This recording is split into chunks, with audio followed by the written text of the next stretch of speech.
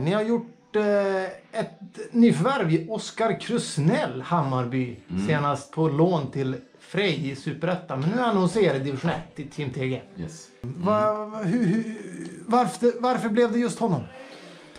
Eh, ja, det, det landade egentligen i att vi sökte kvalitet. Vi var inte riktigt låst i några positioner. Även om vi har känt att offensivt så har vi velat förstärka. Vi har tappat mycket spelare där. Så känner vi också att vi har flexibla spelare i laget. Så det går att ta in en back och sen flytta upp en back som egentligen är någon skolad mittfältare och liksom sen flytta det vidare. Jag tänker mig Adam Shenofi i en mer offensiv roll. Ännu mer offensivt. Ja, men som nummer 10 kanske. Ja, varför inte? Ja, vi, vi har... Där har han ju spelat tidigare. Ja, han har ju spelat mer forward nu slutet. När han har varit disponibel. Nej, så det var egentligen en, en fråga om att få in kvalitet och kunna göra det på så kort varsel också. För vi gick från eh, måndag morgon eh, till att eh, förstå att vi måste ta in spelare till att tisdag eftermiddag var klara. Så det var, det var snabba ryck. Sen är det svårt att liksom att värva spelare under en sån kort period. Och, liksom tidsram. Och, och liksom både få kontakt med föreningar och spelare och allting. Och att de ska vilja släppa spelare också. Så lån är det absolut smidigaste. Men sen finns det ju fönster, det är ju öppet fortfarande att låna spelare under en viss ålder även fram till 30 augusti. Så vi eh, tittar fortfarande på sådana alternativ. Så vi, vi känner oss inte helt klara. Vilka positioner är det då ni tittar Då är det mer offensiva positioner. Ni har ju en provspelare redan den här veckan. Mm. Marcos Issa. Mm.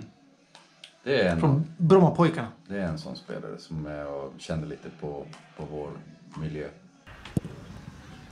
Men eh, ni avvaktar till efter helgen med ett beslut. Nej, det blir, blir mer att vi vill lära känna varandra. Så vi känner ingen, ingen sån där superstress att det måste ske på just den här sekunden. Utan det är en ung kille som säkert inte har varit uppe i, i Norrland särskilt mycket i sitt liv. Vill se hur den här nivån är. Hur han håller i den och hur liksom atmosfären är uppe. Så att, eh, lära känna oss och vi honom. Mm.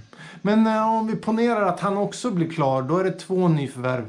Är det stängt då eller kan ni tänka er ett tredje förvärra också? Det beror lite på också hur de här skadorna som vi har artar sig. Vi var ju jättenöjda när vi fick in Wennebro, då kände vi oss klara. Eh, så vi hade 18 friska utespelare och två friska målvakter.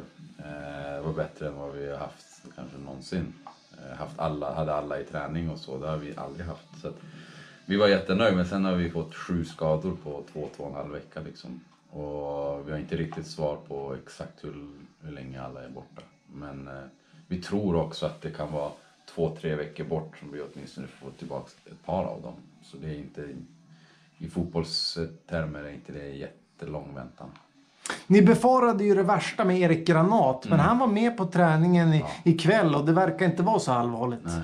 Nej, det var positivt, verkligen. Han, eh, det, var, det såg illa ut och det var illa känslan också för att eh, det fanns inget stöd, han föll som bara ihop.